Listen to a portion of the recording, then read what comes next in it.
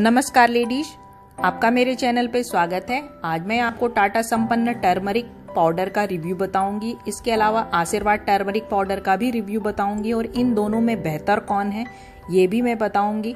टाटा संपन्न turmeric powder ये 200 ग्राम का पैक है और इसका प्राइस है बासठ रुपए और आशीर्वाद टर्मरिक पाउडर का प्राइस है तिरसठ रुपए।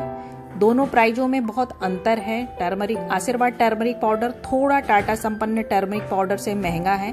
लेकिन अभी आपको पैकेट खोलने के बाद ही ये पता चल जाएगा कि इन दोनों में बेहतर कौन है और किस को इस्तेमाल करना चाहिए। तो आइए हम देखते हैं। अब मैंने इस पैकेट को खोल दिया है। जैसा कि आप अपनी स्क्रीन पर देख रहे हैं, टाटा संपन्न टर्मरिक पाउडर का कलर कुछ ज़्यादा ही डार्क है और आशीर्वाद का थोड़ा हल्का येलो कलर है।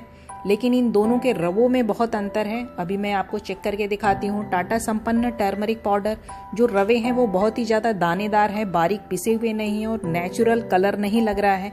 ऐसा लग रहा है कि इसमें कुछ आर्टिफिशियल चीज़ें मिलाई गई हैं और नेचुरली हल्दी जो है ये ऐसी नहीं होती है।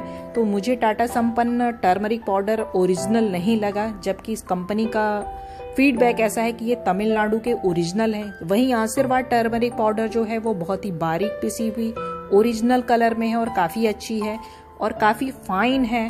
और ये हाथों में चिपक भी नहीं रही है कि इसकी वजह से आपको यूज़ करना काफ़ी इजी हो जाएगा।